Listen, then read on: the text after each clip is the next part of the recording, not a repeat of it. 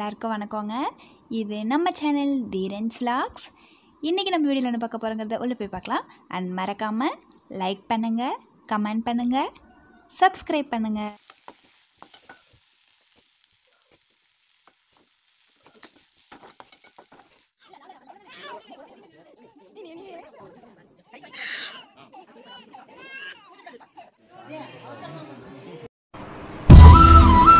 தந்தானே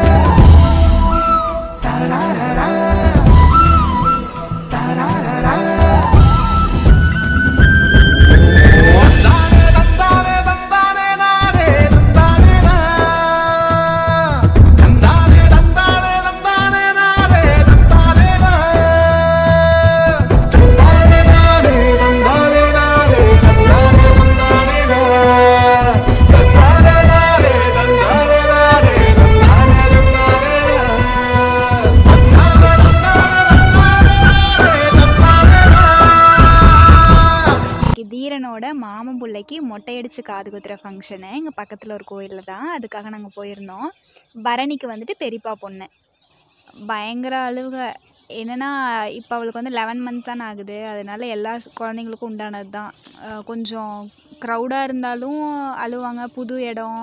அது இல்லாமல் திடீர்னு நம்ம தலைக்கு மேலே கத்தி வச்சா யாருக்காக இருந்தாலும் பயம் இருக்கும். அழுகாச்சிருக்கும்ல அது முடியெல்லாம் மூஞ்சில் ஊதுன்னு ஒரே அழுவாச்சு தீரனுக்கு அந்த டைமில் வந்துட்டு அவன் அழுகலை. ஆனால் மறுபடி செகண்ட் டைம் மொட்டை போடுறப்ப அழுதான்.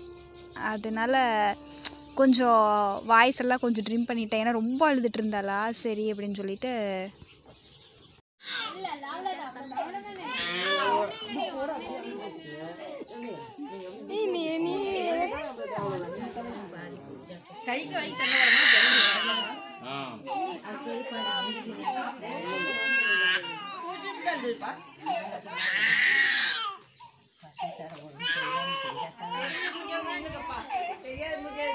Yeah.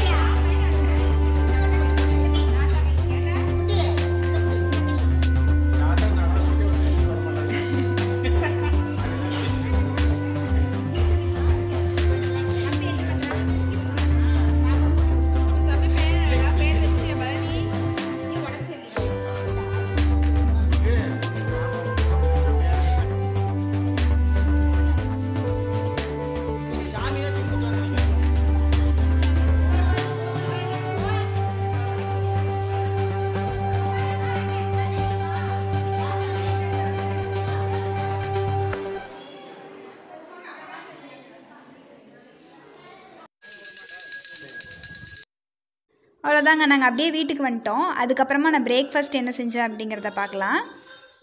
நான் இன்றைக்கி வந்துட்டு அரசாணிக்காய் வீட்டில் காய்ச்சிருந்துச்சு. ஸோ அரசாணிக்காய் வணக்கலான்னு சொல்லிட்டு. அரசாணிக்காய்னா இந்த மஞ்சள் பூசணிக்காய்ன்னு சொல்லுவோம். அப்புறம் பரங்கிக்காய்னு சொல்லுவாங்க. அது செய்யலான்னு சொல்லிட்டு. இதுக்கு வந்துட்டு எண்ணெய் ஊற்றி எப்பவும் போல் கடுகு உளுத்தம்பருப்பு எல்லாம் போட்டு தாளிச்சிட்டு வரமிளகா கருவேப்பிலை அப்புறம் சின்ன வெங்காயம். அது வந்துட்டு நல்லா வணங்கிறதுக்காக கொஞ்சம் உப்பு ஆட் பண்ணியிருக்கிறேன். நல்லா வணங்கினதுக்கப்புறமா நம்ம வந்து அந்த பூசணிக்காயை வந்துட்டு ஆட் பண்ணிக்கலாம். அது வந்துட்டு அந்த இது பார்த்திங்கன்னா தோல் எல்லாம் வந்துட்டு நல்லா எடுத்துருங்க. தோல் ரொம்ப ஹார்டாக இருக்கும். அந்த தோலை நல்லா சீவிட்டு அதுக்கப்புறமா நீங்கள் வந்துட்டு குட்டி குட்டியாக அரிஞ்சு போட்டுக்கோங்க. அதே மாதிரி இதை வணக்கும் போது வந்துட்டு தண்ணி ஆட் பண்ணக்கூடாது. தண்ணி ஆட் பண்ண தேவையும் இல்லை. அதுலேயே வந்து நல்லா தண்ணி விட்டு ஒரு இதுக்கு வந்துட்டு ஒரு குறைஞ்சபட்சம் அஞ்சு நிமிஷத்துலேருந்து எட்டு நிமிஷத்துக்குள்ளே இது நமக்கு நல்லா வணங்கி வந்துடும் தண்ணி ஊற்றுனீங்கன்னா என்ன ஆகும்னா ரொம்ப கொல கொலன்னு போயிடும் கொஞ்சம் ஒரு மாதிரி ஆயிரும். அதனால தண்ணி ஊற்ற வேண்டாம். அப்படியே உங்களுக்கு ரொம்ப தீஞ்சு போகிற மாதிரி இருக்குன்னா குச் லைட்டாக தண்ணி தொளிச்சு விட்டிங்கனாவே போதும். இங்கே பாருங்கள் நான் பூ இது வந்துட்டு அரசணிக்காய் வந்துட்டு நல்லா மேல் தோலில் நல்லா சீவிடணும். அந்த சீட்ஸ் எல்லாம் இருக்கும்ல அதெல்லாம் எடுத்துடணும். அதை வந்து அந்த சீட்ஸ் எல்லாம் வந்து நீங்கள் சாம்பலை தடவி போட்டிங்கன்னா மறுபடியும் வந்துட்டு உங்களுக்கு நல்லா முளைச்சி வரும். அந்த செடி கிடைக்கும். அதுக்கப்புறம் நல்லா காப்பு காய்ச்சி நம்மளுக்கு இந்த மறுபடியும் நிறையா அரசணிக்காய் கிடைக்கும். இப்போ இது நல்லா நம்ம வணக்கி விட்டுக்கலாம். இதில் நிறையா ஹெல்த் பெனிஃபிட்ஸ் இருக்குது இதுக்கு நான் தனியாகவே ஒரு வீடியோ போடலாம். அந்த அளவுக்கு இதில் வந்துட்டு அரசாணிக்காயில் பெனிஃபிட்ஸ் இருக்குது அதே மாதிரி இந்த அரசாணிக்காயிலோட சீட்ஸ் இருக்குல்ல அந்த விதையை வந்துட்டு நம்ம எடுத்து காய வச்சு அதை வந்து நம்ம ஏதாச்சும் நட் எதா ஸ்வீட் ஏதாச்சும் செய்யும்போது அதை ஆட் பண்ணிக்கலாம். அப்படி இல்லைன்னா வந்து பவுடராக இப்போ நட்ஸ் பவுடர் ஆட் பண்ணுறோம்ல அந்த நட்ஸ் பவுடர் கூட இதையும் சேர்த்து வச்சு அந்த விதையும் சேர்த்து பண்ணி சாப்பிடும்போது வெயிட் கெயினுக்கு வந்துட்டு ஹெல்ப் ஆகும். இப்போ வெயிட் கெயின் ஆகணும் அப்படின்னா வந்துட்டு இந்த அரசணிக்காயோட விதை அதுக்கப்புறம் வெள்ளரி விதை இதெல்லாம் நம்ம வந்துட்டு உணவில் சேர்த்துக்கிட்டோம்னா வெயிட் கெயினுக்கு நல்லா ஹெல்ப் பண்ணும். இப்போ இதில் வந்துட்டு நான் மஞ்சத்தூளும் மிளகாத்தூளும் போட்டிருக்கேன். வேறு எதுவுமே போடல. மஞ்சத்தூள் மிளகாத்தூள் மட்டும்தான். இதுக்கு அதிகமாக வேறு எதுவும் நீங்கள் தே போட தேவையில்ல. நிறைய பேர் வந்துட்டு இந்த கரம் மசாலா போடலாம் கொத்தமல்லி தூள்லாம் போடலான்னு போடுவாங்க. அந்தளவுக்குலாம் போட தேவையில்ல. மஞ்சத்தூள் மிளகாத்தூள் அதுவே போதும். தேவையான அளவுக்கு உப்பு. இது மட்டும் இருந்துச்சுனாவே இதோட ஃப்ளேவரே நல்லாயிருக்கும் நமக்கு.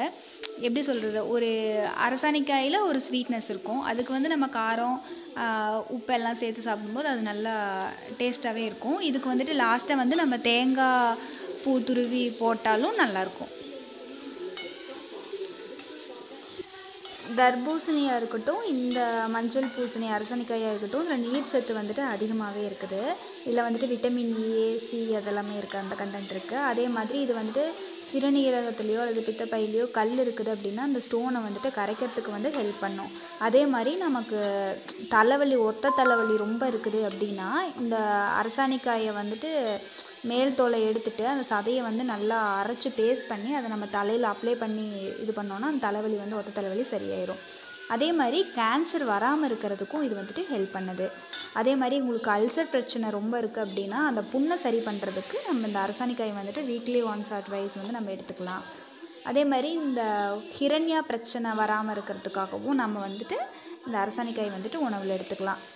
இது வந்து நமக்கு இயற்கையாகவே கிடைக்கிறது. எப்போவுமே நம்ம தேடி தேடி போய் சாப்பிட்டோம்னா தான் நம்ம வந்து ஆர்டிஃபிஷியலாக ஒன்று ரெடி பண்ணி இருக்கிறதுக்குள்ளே போகாமல் நம்மளை நம்ம காப்பாற்றிக்க முடியும். அதே மாதிரி இப்போ இயற்கையிலேயே வந்துட்டு நம்மளுக்கு இவ்வளோ ஹெல்த் பெனிஃபிட்ஸ் கொடுக்கறக்கூடிய வெஜிடபிள்ஸ் எல்லாமே இருக்கும்போது நாம் வந்து அதை அப்படியே ஃபாலோ பண்ணுவோமானா எப்படி சொல்கிறது ஒரு தலை வலிக்குது நம்மளுக்கு பயங்கரமாக இப்போ ஒத்த தலைவலி பயங்கரமாக இருக்குது இதுக்கு நான் என்னத்தை சாப்பிட்றதுன்னு தெரியல அதுக்கு பேசாமல் ஒரு மாத்திரை வாங்கிட்டு வந்து சாப்பிட்டுக்கிறேன் அப்படின்னு தான் நம்ம யோசிக்கிறோம். நம்ம ஏன் நம்ம எல்லா இப்போ எது எதில் என்னென்ன சத்து இருக்குது அப்படிங்கிறது நம்ம எப்போவாச்சும் படித்தது பார்த்தது ஞாபகம் இருக்குது. அப்போ இதெல்லாமே நம்ம உணவில் சேர்த்துட்டு வந்தோம்னா நமக்கு தலைவலி பிரச்சனையே இருக்காது. தலைவலிக்கிறது மெயின் வந்து நம்ம ஸ்ட்ரெஸ் ஆகிறது ரொம்ப டென்ஷன் ஆகிறது இதனால தான் அதையும் கம்மி பண்ணிக்கிட்டு நம்ம சாப்பிட்ற ஃபுட்டும் வந்துட்டு ரொம்ப இயற்கையானதாக தேடி சாப்பிடும்போது நம்மளுக்கு எந்த பிரச்சனையும் இல்லை. நம்மளும் வந்துட்டு ஃபுல்லாகவே இயற்கையாகவே சாப்பிடுவோமானா யாருனாலையுமே முடியாது. நம்ம வாரத்துக்கு ஒரு நாள் ஏதாச்சும் ஹோட்டலில் சாப்பிட்லாம் தப்பு கிடையாது. அதுக்கப்புறம் நீங்கள் அந்த மீதி இருக்கிற ஆறு நாள் வந்து இயற்கையான உணவுகளை மட்டும்தான் எடுத்துக்கணும். அப்போ தான் அதுக்கு இதுக்கு ஈக்குவல் ஆகும். இப்போ நம்ம அரசாணிக்கா கூட்டு பொரியல் எப்படி வேணாலும் சொல்ல அது ரெடி ஆயிடுச்சு ஓகே டாட்டா என்றும் அன்புடன் தீரன் ஸ்லாக்ஸ்